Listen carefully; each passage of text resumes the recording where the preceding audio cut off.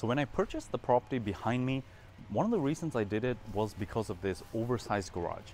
It's a three car garage and we actually got drawings approved by the city to build a one bedroom garage suite.